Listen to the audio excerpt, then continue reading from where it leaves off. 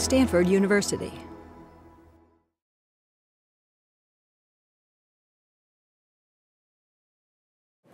My name is David Victor. I'm from UC San Diego. I was here at Stanford uh, many years ago at Stanford Law School and Freeman Spogli Institute. It's terrific to be back here.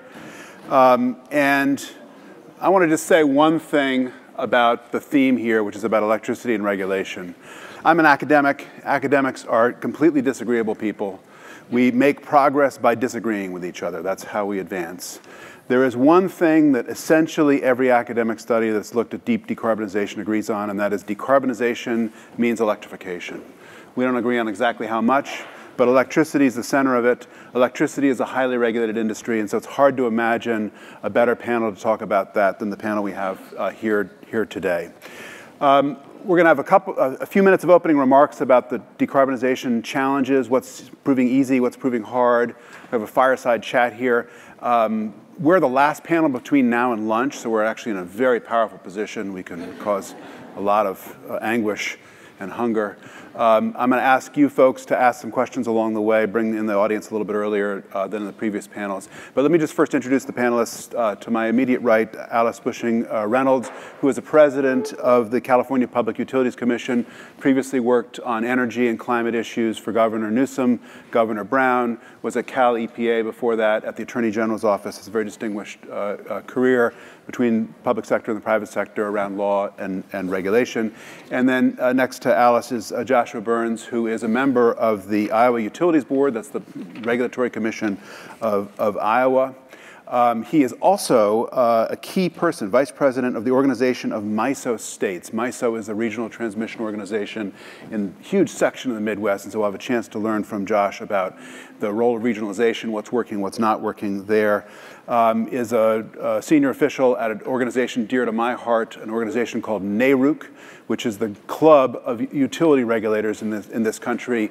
And it's the institution that many of you have never heard of, but is vitally important because it's the place where best practices and lessons learned are, are moved around. So, a terrific panel for you today. I want to start with you, Alice. Maybe you could give us a few minutes of opening remarks on the decarbonization goals, what you're sitting in the Utilities Commission. What's looking like it's easy to do? What's hard?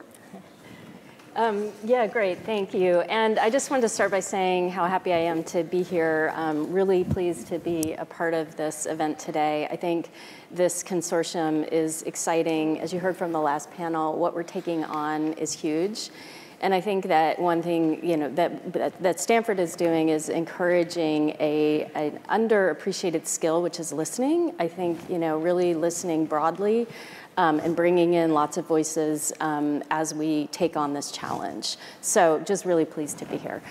And um, so I am um, the president of the Public Utilities Commission at the CPUC. Um, we regulate energy, water, transportation, um, telecommunications, and we have some work on rail as well. In the energy sector, um, our regulated entities are the investor-owned utilities. It's about 75% of the load here in California. And um, when we think about all of the utilities, we're prioritizing safety, reliability, and resilience. In the energy sector, we're very, very focused on clean energy, meeting our clean energy targets. And then, of course, primary concern is cost and affordability. So we take all of those things and we're trying to move as fast as we can on solutions for the huge challenges we have in front of us. Um, so for electricity, we have um, a goal of 100% um, clean retail sales of electricity by 2045. We also have a statewide carbon neutrality goal of 2045. And so at the PUC, we're doing the work to make sure that the energy sector, it meets or is ahead of its portion of meeting those goals.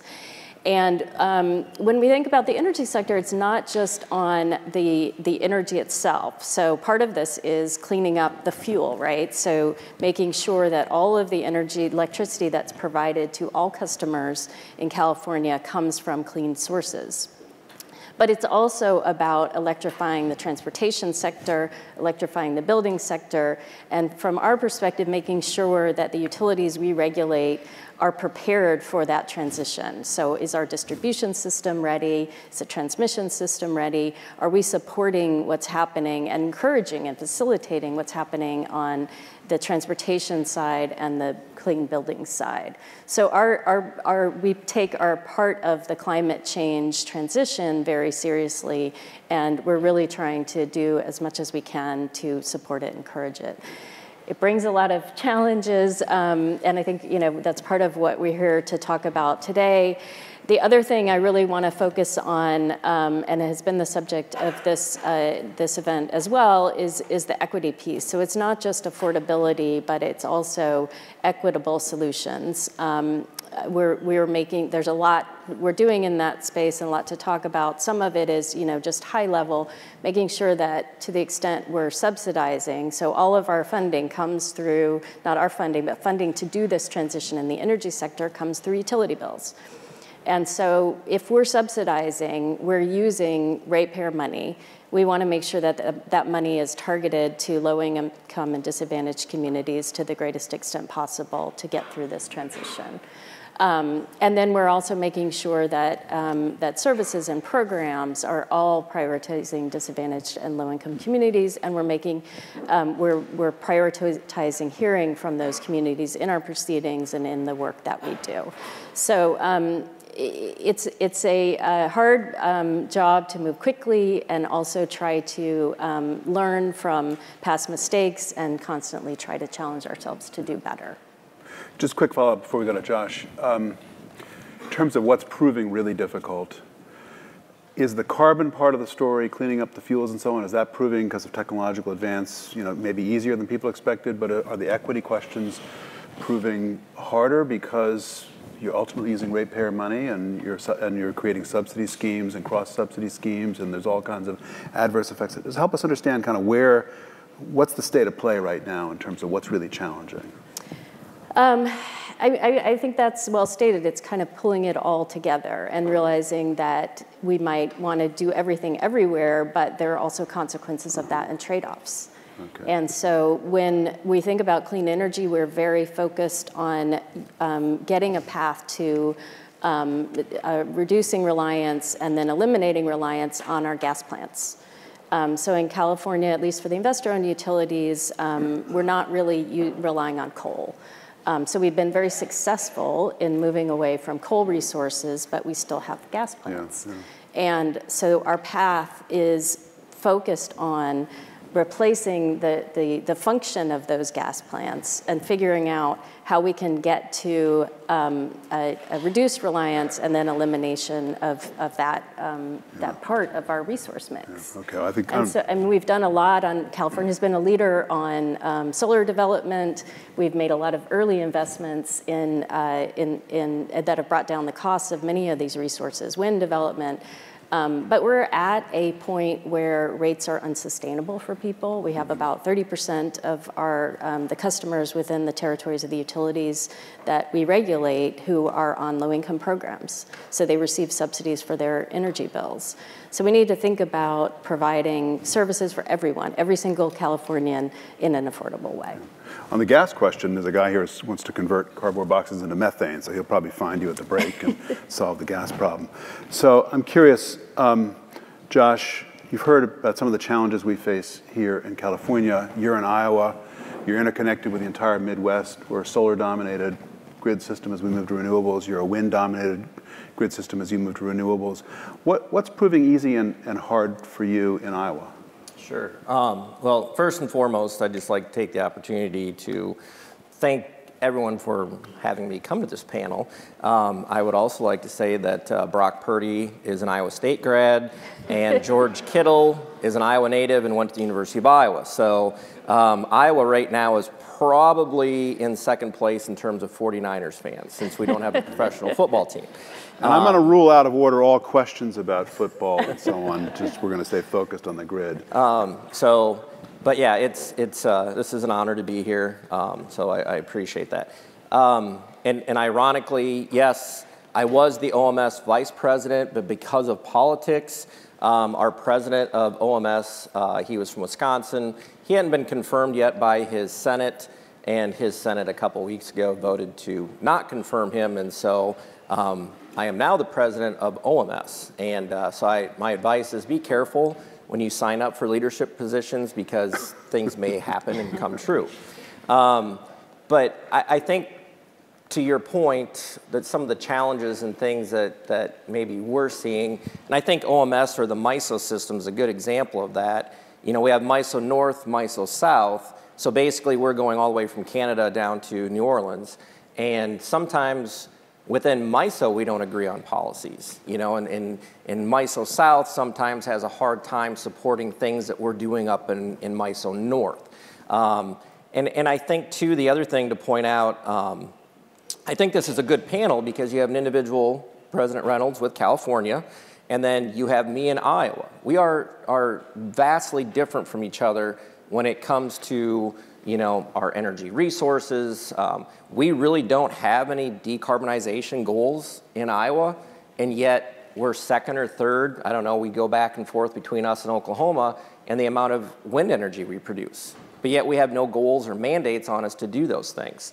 Um, and I think right now, as a regulator, I would say some of my biggest challenges that we're facing is just, you know, making sure, making sure policy isn't just a one size fits all. Each one of us are, we're different as states.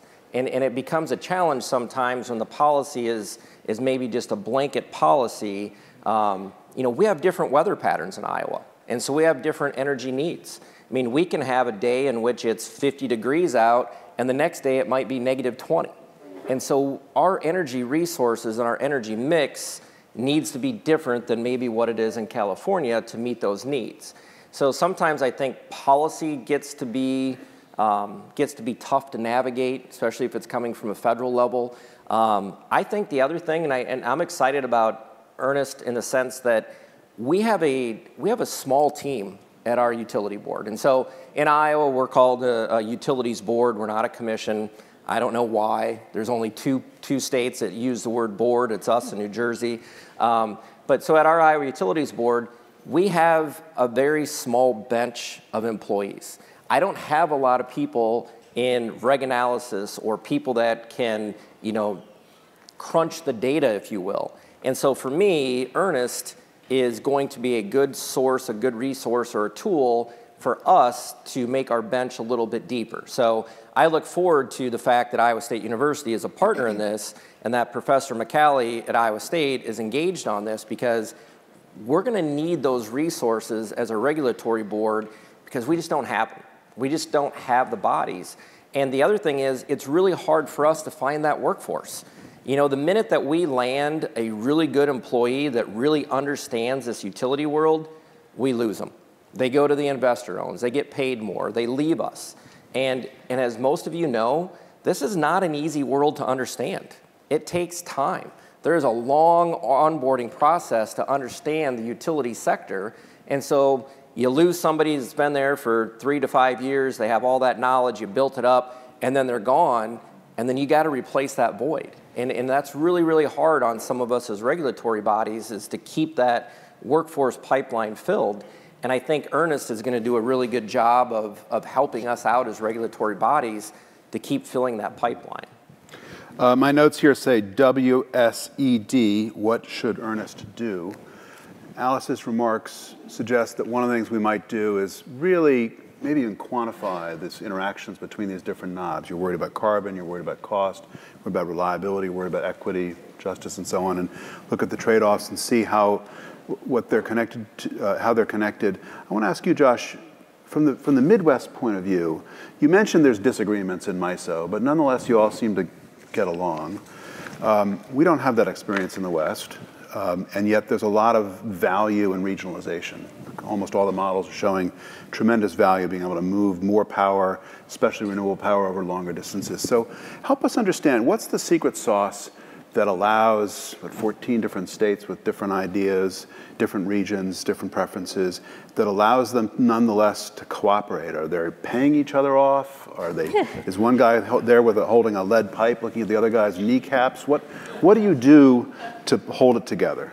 I would say relationships and communication. Um, you know, we have, so we may have disagreements within MISO and MISO North and MISO South, um, but at the end of the day, we have really good communication. And I think that was talked about on the previous panel is sometimes you have to have those difficult conversations. Um, and I think the other thing is just pointing out that, you know, there are times, we can look at Winter Storm Elliott and, and situations like that, where MISO South really needed MISO North to keep the lights on and to keep the system from catastrophic failure. So um, I guess you need to have that communication, build those relationships, and maybe remind them from time to time of the benefits that they receive by being part of the greater grid. Okay. Sounds a little bit like a lead pipe, but, but with a kind of friendly lead pipe. Friendly pipe, um, yeah. Let's take, let's take Elliott as an example. So this is a storm. This is December 24th, 2022. One of these, you know, cold bombs or whatever, bomb, bomb cyclone, I guess is the term of art, uh, where the jet stream wanders south. You have huge areas that are interconnected and also very cold and not able to draw on natural gas for, for reliability. Help us understand, from EARNEST's point of view, do we need to be doing more work on these kinds of tail events to understand their probability, how the probability may change in the future, and what that means for folks ultimately who are responsible for keeping the lights on? I, I, I think so. I think there'd be strong benefits in taking a look at some of these extremes.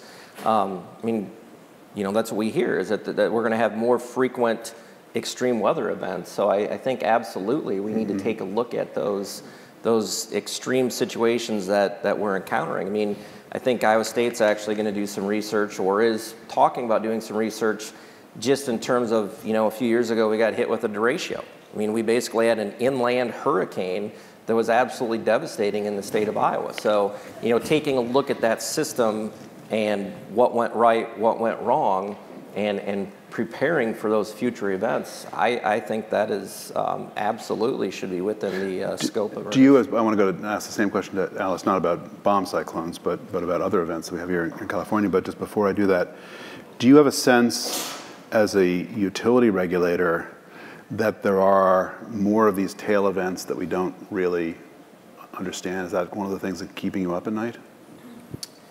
Um, what keeps me up at night is just the reliability side of things. Um, take a look at what happened at ERCOT. I mean, you know, so ERCOT is the Texas, the Texas uh, balancing grid, yeah. and um, you know that event happened, and then the knee-jerk reaction was, we're just going to clean house on ERCOT.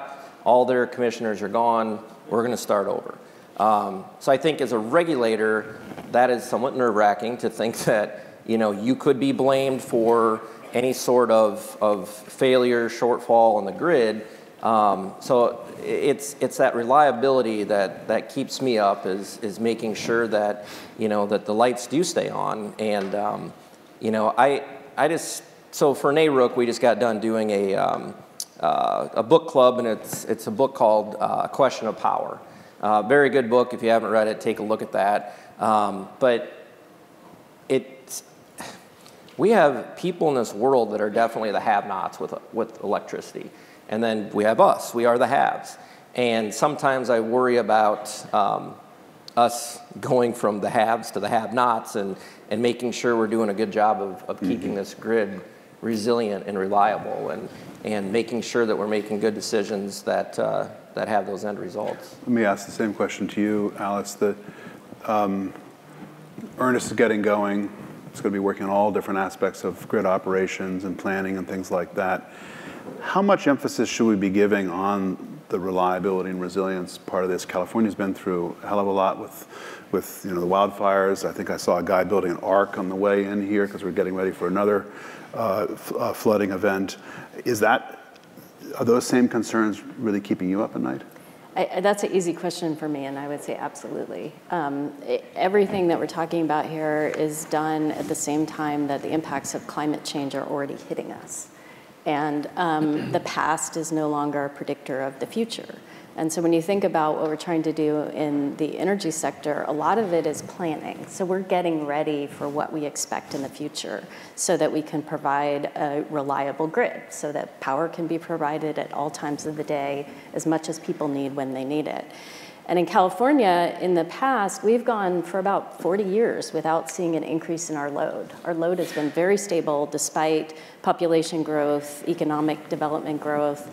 Um, but we had made early investments in energy efficiency, and they really paid off. Um, and now we anticipate load growing, and not just load growth, but load growing with extreme spikes at certain times with, with heat events. So we're getting needle peaks, and we're getting load at different times of day. We're getting load that is less easy to predict. Um, but we also have um, a, a, lot of opportunity there to do load management. And we are talking a lot about that here. It's part of our planning efforts.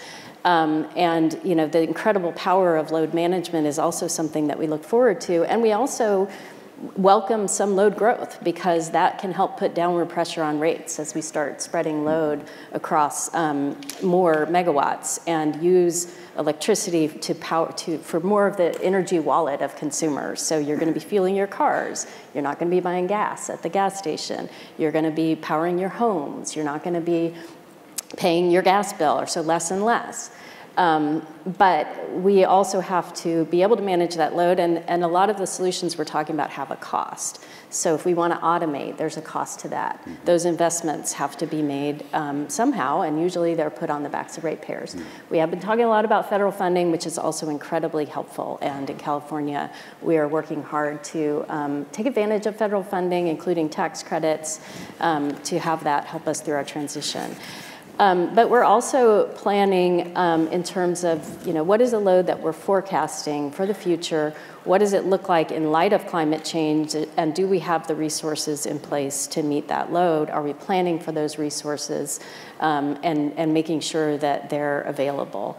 Uh, we're doing that in a lot of ways, of course, including emphasizing battery storage. We've seen a huge increase in battery storage. About three or four years ago, we had about 200 megawatts of battery storage, and now we have over 7,000. And so we've been able to see, um, you know, if, if we're really focused on solutions, we can make them happen. And that's not to say that it's not challenging. It takes a lot of people. One thing before, I know you have more questions. I did want to. I got a long list here. I'm going to show everybody the list.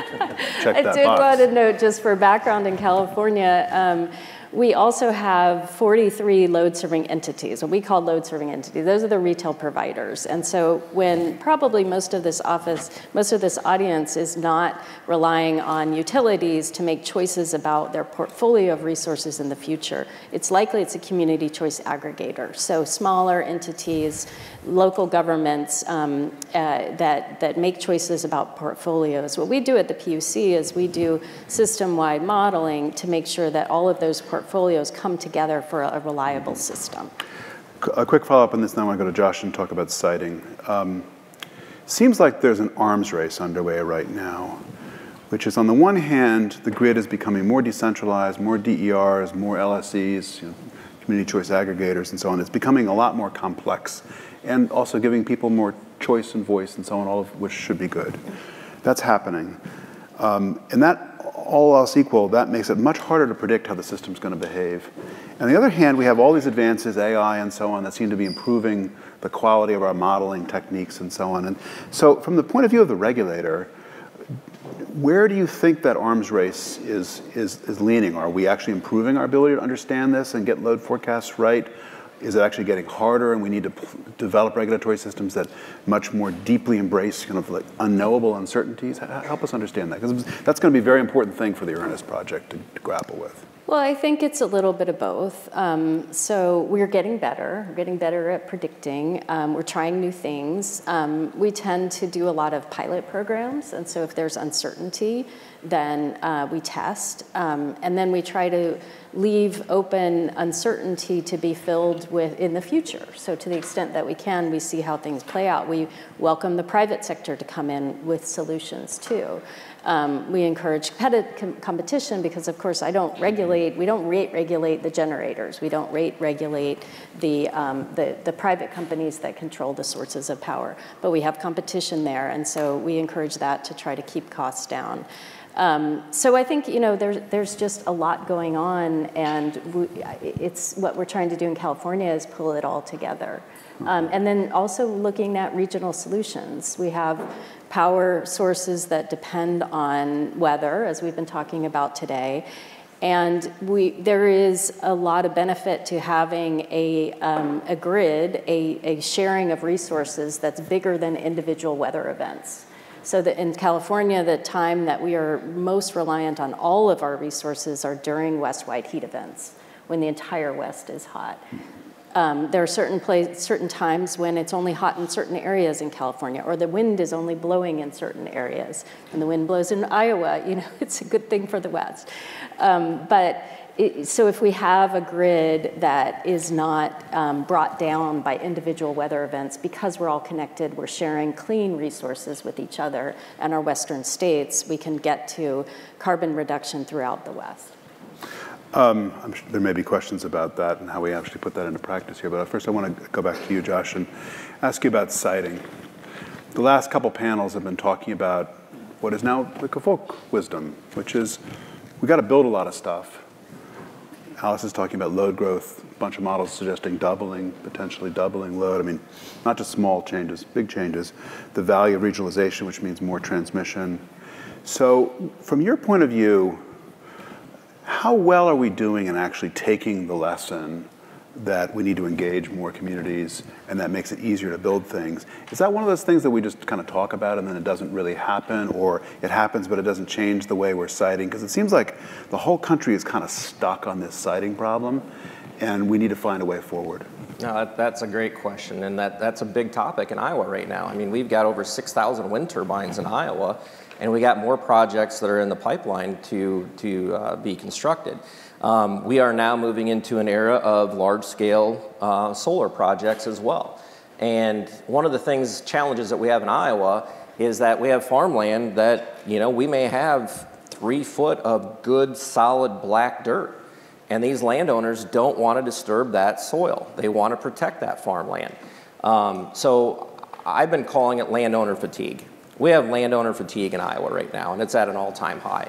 And it's going to make it really, really challenging to continue to build some of these resources, whether it's wind or solar.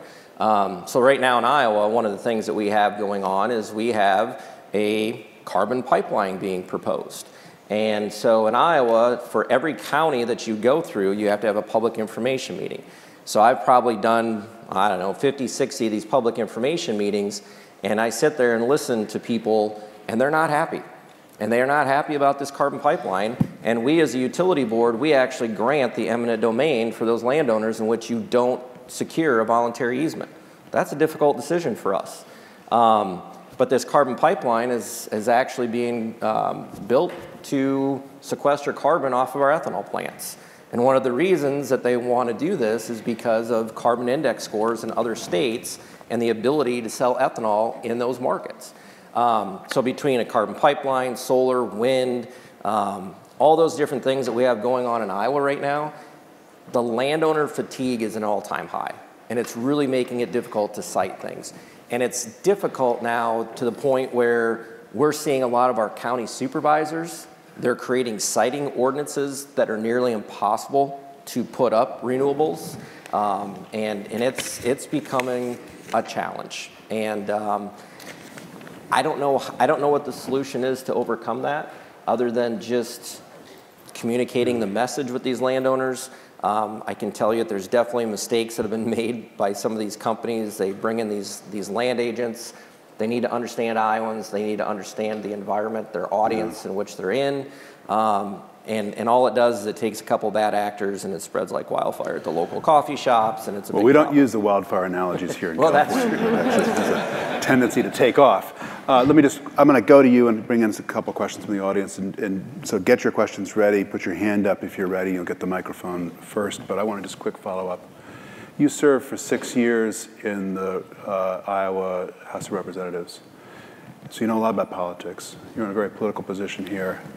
Are these siting problems just kind of political problems and people who know politics need to work on them? Or is there something that we in the analyst community, like the EARNEST community, could be doing to um, help understand what's working, what's not working? Dan Reicher in the previous panel talked about you know, these dialogues, bringing people together, come up with ideas. That's fantastic.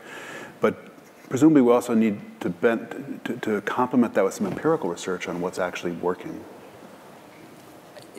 Yes. Um, unfortunately, energy has, has become political. I mean, there's just no doubt. Um, Dan Reicher's going to have a quick follow-up on this, I suspect, but we need to give you a microphone.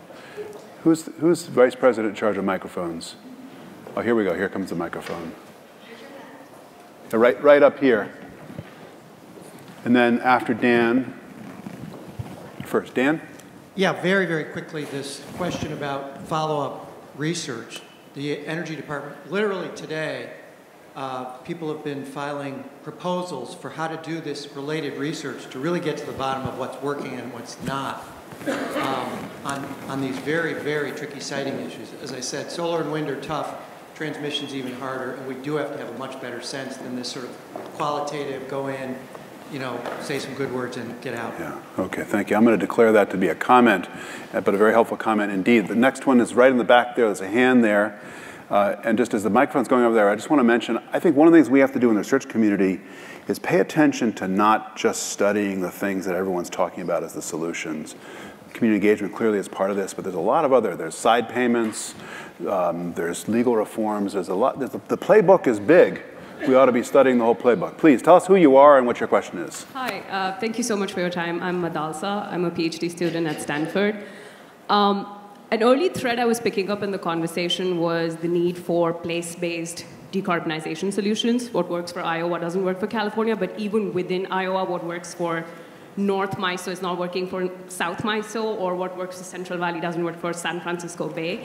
Um, so I had a question and sort of a request. My question is, how do you as decision makers not just navigate the political economy of that place-based challenges, but what sort of decision tools do you use to do that? And the sort of request is just as researchers, I guess better access to spatially resolved data would be very helpful. Like we're thinking about it, it's just we don't have good granular data to tease those things out. And I know there's a privacy concern. You can figure out which person is driving or which person is using how much electricity, but um, some solutions would be welcome. But also how you think through those challenges. Thank you. Yeah. Alice, do you want to talk about what tools for, for these different place-based solutions? Sure. Um, we uh, look at, um, certainly it's true that, that there's no one solution, no one size fits all solution. There's an um, emphasis on place-based solutions, absolutely. I talked a little bit about the local um, community choice aggregators and, and even the, the utilities and our direct access providers who are thinking about their set of their own set of local customers. Um, but we're also um, looking at, because of course the grid is all connected, right? And so we're looking at planning for the distribution system, that the local grid as well as the transmission system, and thinking about how all of the resources work together. And in, in looking at the distribution system, you do have to get pretty granular about what's happening at, um, in individual areas. Our distribution system was not built for what we're trying to do. And um, I think that, that that's an area that's maybe um, has been overlooked and will get a lot of attention. Um, we're um, trying to put together studies to work on um, uh, ways to learn more about the distribution system and how it can better meet our needs, the needs of the future in California. There's, of course, a cost to this, and so there are also cost considerations and the need to look at cost effectiveness for capacity upgrades, um, for grid improvements, distribution system grid improvements for local communities.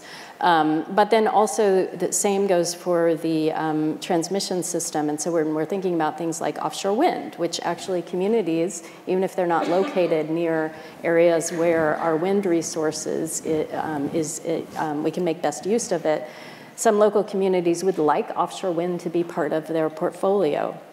Um, and so really getting, and we have a local community effort around the areas where the, the development will happen also participate, participating. So sometimes it's about linking different communities yeah. and thinking about solutions comprehensively. Before we go to our next question, I want to I want to ask the same question but in a different way, Josh, which is it seems like these place-based conversations are all the same conversation happens when it comes to turning equity or justice into reality. And the, and the language even matters. Some people are more comfortable calling it fairness, some people are more comfortable calling it justice.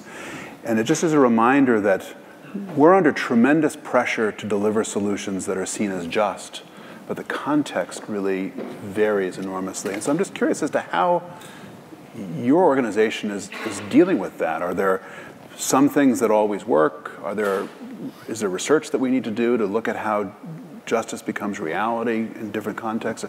Help us think through that problem.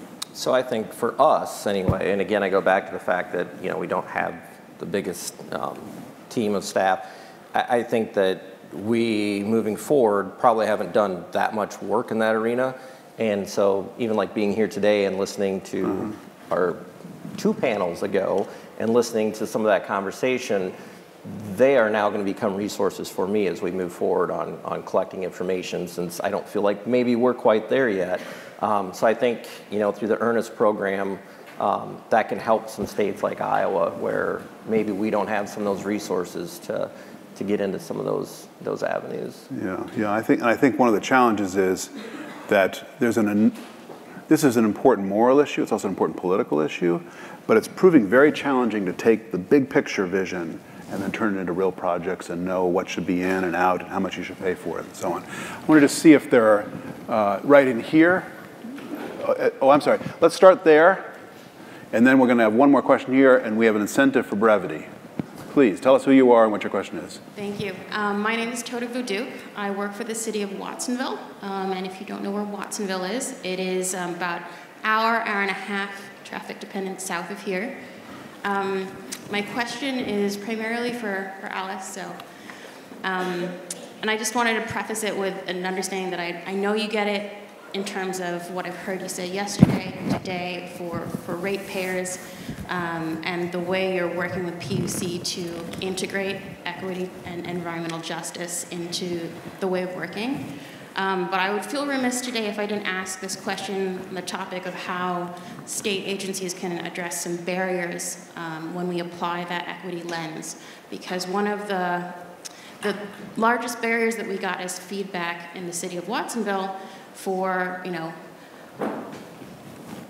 making that shift, transitioning away from gas into electricity, especially when it comes to EV uptake and equitable um, deployment of EVs, for communities who largely don't speak English, um, do not own a home, those types of things, is rates. And um, I understand the benefits of a lot of these dynamic rates, but it's making it very difficult for people to understand what they're paying for. So you might not be going to the pump, but people understand that they receive so many gallons for so many dollars. And one of the largest barriers is people can't compare prices because the apples aren't apples. So I'm wondering what you can do from a state perspective um, when you are setting rates with those dynamic rates to make them more transparent and accessible for, for, people who might not be here today. Thank you. You want to talk briefly about this kind of tension between what the economists all tell us to do, which is dynamic rates, and what people sometimes feel comfortable with, which is not dynamic rates?